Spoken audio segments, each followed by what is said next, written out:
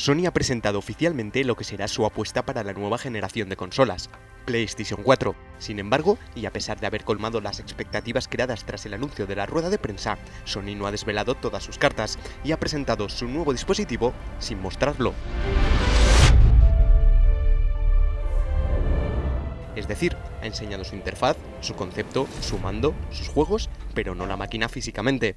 Tampoco se sabe nada de precio o fecha de lanzamiento, aunque sí que saldrá este año, con toda probabilidad para Navidades. La compañía ha demostrado lo que se puede esperar de la nueva generación, pero habrá que esperar al próximo E3 para ver la máquina que según Sony quiere ganar la batalla a la realidad. La compañía ha mostrado, por supuesto, varios videojuegos, como Killzone Shadowfall,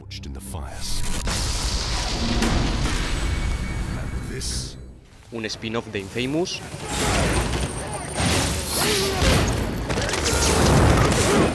o Drive Club, un simulador de coches.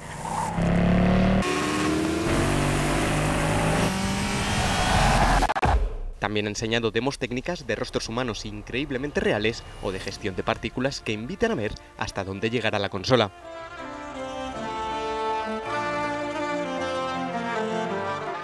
Sin embargo, no solo de potencia gráfica ha tratado la rueda de prensa. Sony ha mostrado novedades como una interfaz más social, juegos en la nube y, por supuesto, las actualizaciones de hardware que incluyen un nuevo mando DualShock. Este último es uno de los aspectos más destacados. PlayStation 4 será básicamente un ordenador especializado. Esta declaración de intenciones se traduce en una CPU x86, una tarjeta gráfica avanzada que ofrecerá una potencia notable y una memoria RAM de 8 GB que dará una velocidad sin precedentes. También tendrá disco duro para guardar contenidos.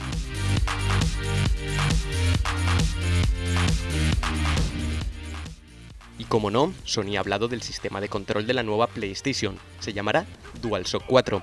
Lo más destacado es la incorporación de un panel táctil al mando. Se trata de un panel similar al que Sony ha utilizado en la parte posterior de PS Vita, que permite realizar acciones en los juegos de forma totalmente nueva. Otra gran novedad del DualShock 4 es que incorpora una cámara que tendrá distintas funciones y un botón específico para compartir contenidos y es que en el nuevo menú de PlayStation 4 tendrá una gran presencia las opciones para compartir, uno de los ejes de la experiencia que Sony quiere establecer en la nueva generación.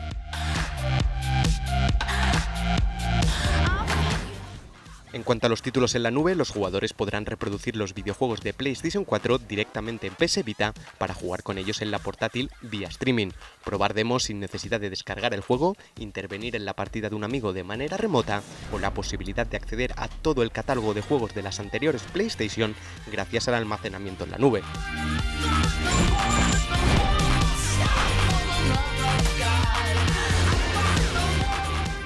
Finalmente, la esperada presentación de Sony de lo nuevo de PlayStation ha sido solamente un avance de lo que se verá en la próxima generación, como más opciones, cambios en la interfaz y en el mando y mejoras en la calidad visual.